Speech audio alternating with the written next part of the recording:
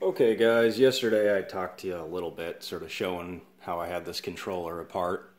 Uh, what I was doing was perfecting the over travel stop, so essentially a whole lot less movement of the trigger.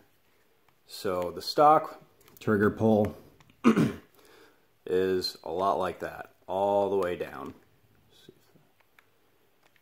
Now, if we enable the over travel stop, which is the improved one, we get that for a trigger pull.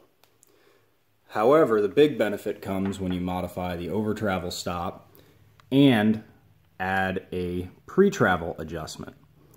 So that trigger pull looks just like that. That is a full trigger pull.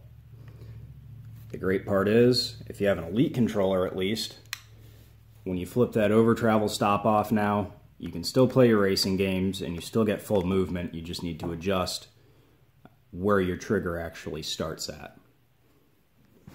If you have any questions on how to do this or what you uh, what I did, just let me know. Another view here.